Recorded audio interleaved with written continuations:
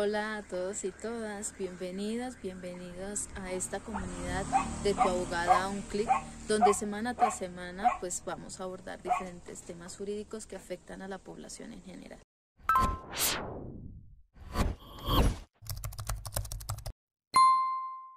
Soy Nancy Alarcón y me puedes escribir al WhatsApp 321-240-5780 si requieres asesoría personalizada.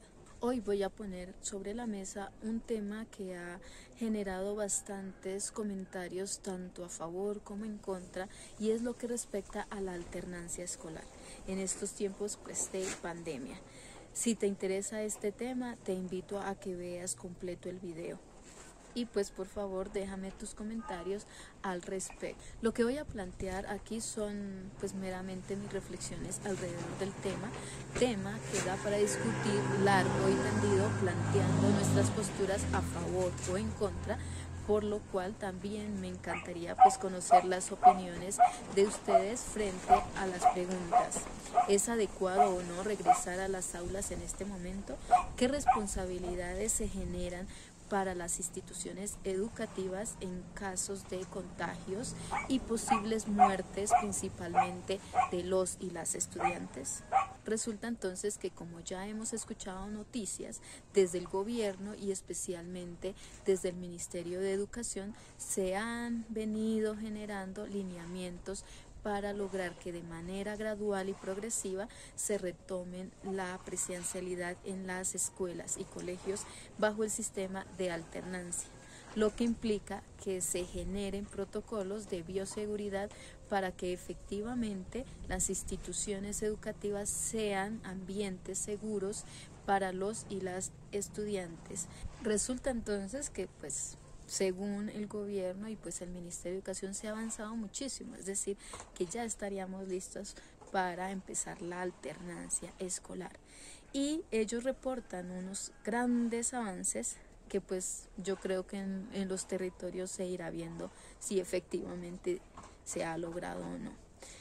Pero eh, son básicamente cuatro avances que ellos informan para lograr que eso, que que los estudiantes tengan un ambiente seguro en pues, las instituciones educativas.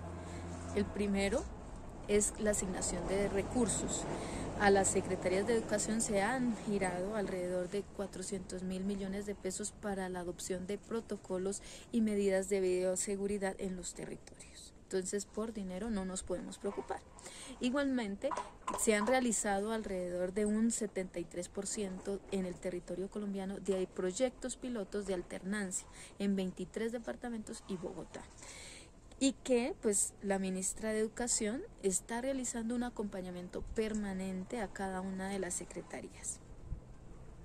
El tercero es que el 100% de las entidades territoriales certificadas en educación enviaron ya los planes de alternancia educativa con alcance en todo el territorio.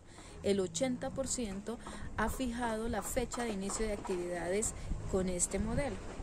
Ya estamos preparados. Para dar viabilidad a este modelo se consideran tres variables. Uno, la incidencia de los casos, la capacidad de las unidades de cuidados intensivos y la densidad poblacional de cada territorio.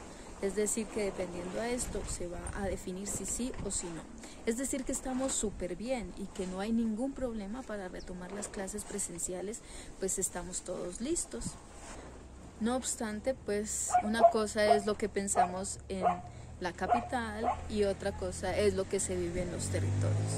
Aterrizarlo en los territorios es, el, es, es, lo complicado.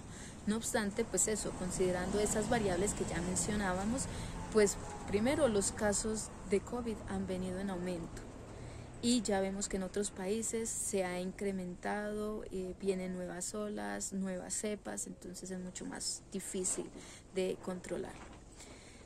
La ocupación de la SUSI ya está en alerta roja, ya no hay cupos, entonces retomar clases resulta en este momento bastante arriesgado. Igualmente si pensamos en los territorios, la precariedad pues es lo imperante.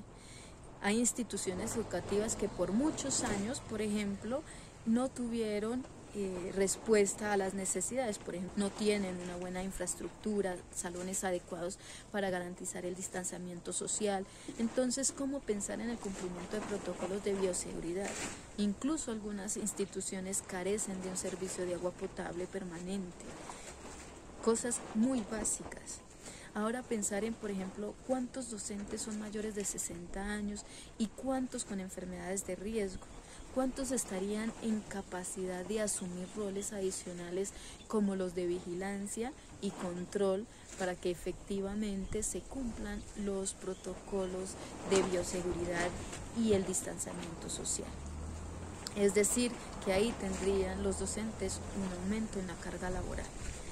Esto me genera pues muchos interrogantes y es por qué la urgencia de volver a la presencialidad en los colegios. ¿Qué sucede si se presentan casos de COVID-19?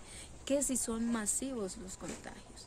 Si conocemos la precariedad del sistema de salud, como efectivamente van a trabajar articuladamente eh, entre educación y salud para efectivamente lograr atender los posibles casos. Hago un paréntesis para invitar a aquellas personas que no se han suscrito para que pues se suscriban si consideran que este tipo de temáticas son importantes. Eh, también es importante que pues actives la campanita así te van a llegar las notificaciones de los contenidos que se suben semana tras semana. Entonces viendo las cosas como están actualmente, pues sería importante pues considerar que desafortunadamente no estamos preparados, que hay que tomar un poco más de tiempo para poder implementar este sistema y sobre todo que es del deber del gobierno, de los ministerios, de las secretarías de educación, de las instituciones educativas, de los docentes, garantizar un espacio seguro, garantizar la salud y la vida a los y las niños, niñas y adolescentes. ¿Cómo van a asumir la responsabilidad civil, disciplinaria e incluso penal en casos principalmente de muerte si efectivamente los docentes tienen esa posición de garantes y las instituciones educativas tienen,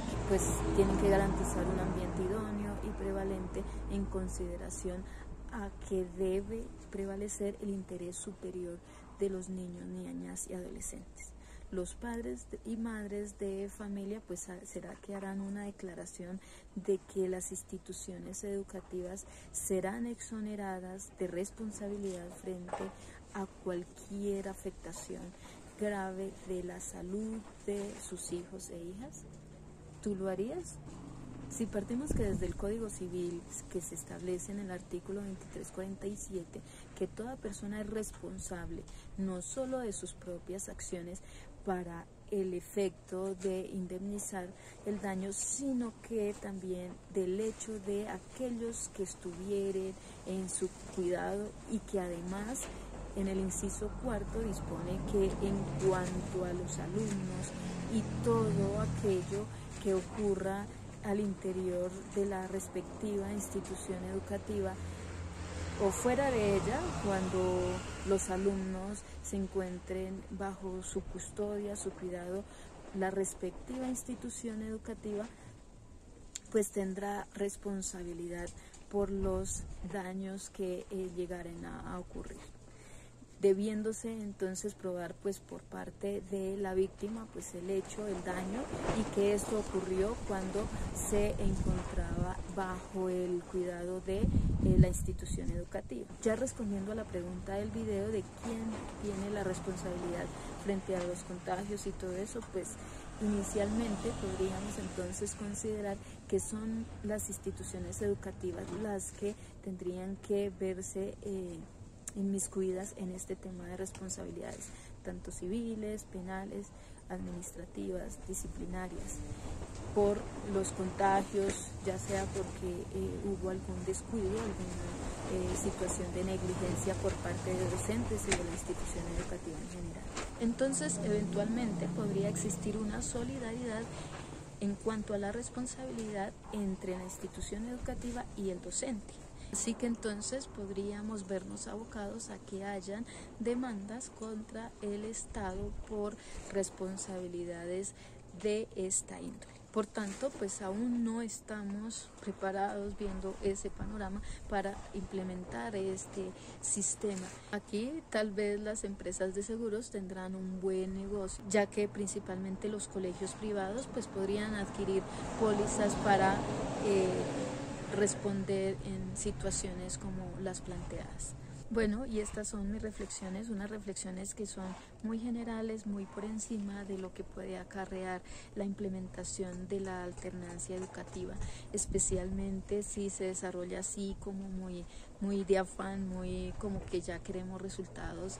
Eh, creo que que sí definitivamente el COVID ha llevado a que cambiemos eh, nuestros estilos de vida y pues por tanto también el sistema educativo. Entonces, pues considero que sí es importante que nos tomemos un poco más de tiempo, pero hay que pensar en esas instituciones que son muy distantes, que están alejadas. Em, de las principales ciudades y que cuentan con escasos recursos, que los docentes pues son, son pocos para la carga laboral que, que van a tener. Entonces, pues nada, me gustaría eso, eh, leerles un poco qué opinan al respecto o si tal vez eh, estos argumentos pues como que no tienen base. Me gustaría eh, saber tu opinión. Pues nada, si te gustó este video, pues dale me gusta, compártelo por las redes sociales, suscríbete si no te has suscrito, activa la campanita y pues nos estaremos encontrando la otra semana. Abrazos para todos y todas.